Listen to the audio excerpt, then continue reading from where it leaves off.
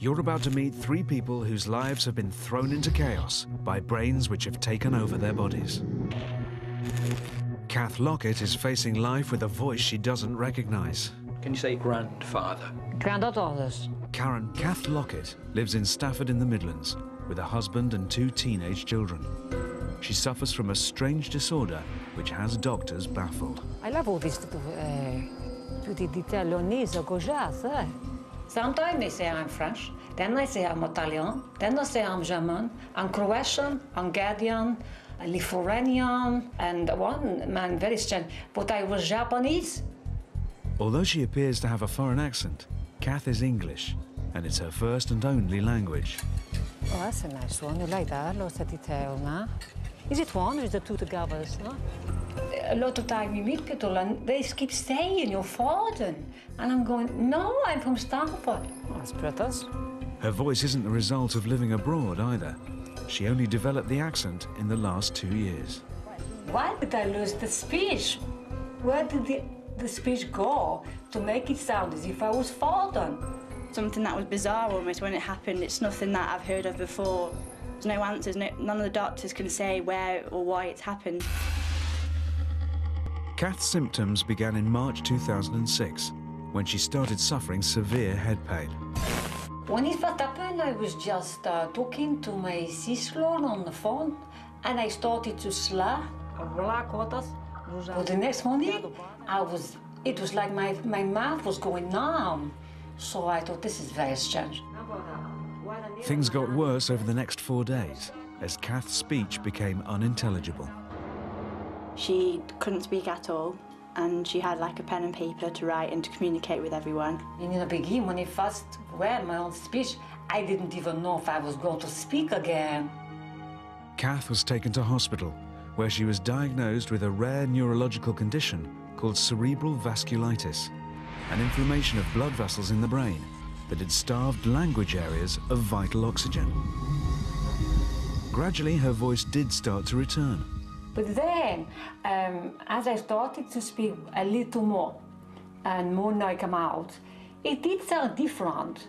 I thought it was because I was relearning. She started to learn to speak again. This accent came with it, which was a big shock to everyone.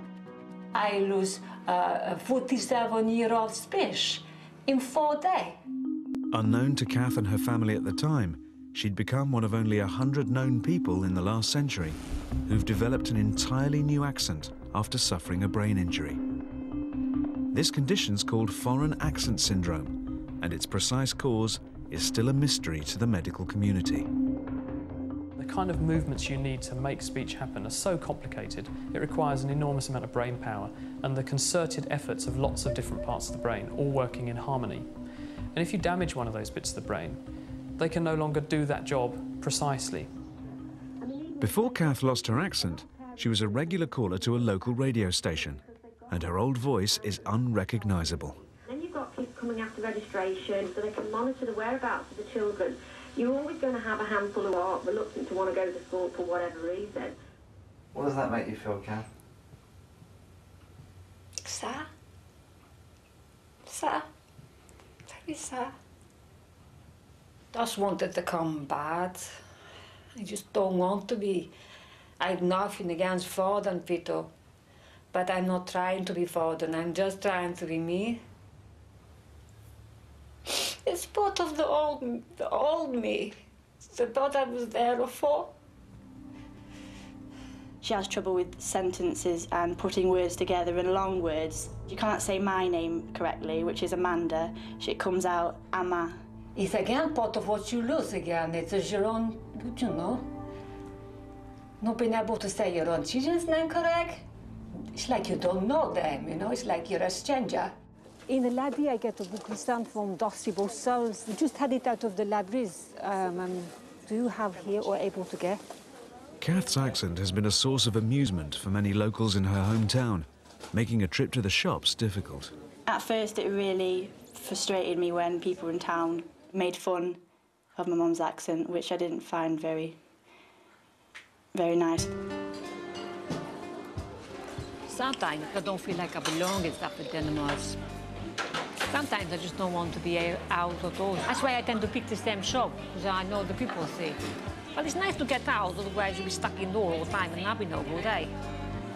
With very rare syndromes such as these, sufferers can be frustrated by a lack of knowledge about their condition. So Kath's about to go on a journey to find out more and to see if there's any hope of a cure.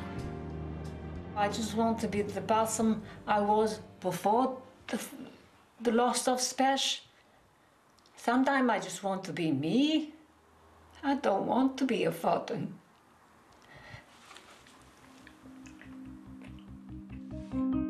Kath soon to discover she's not alone. Kath? Yeah?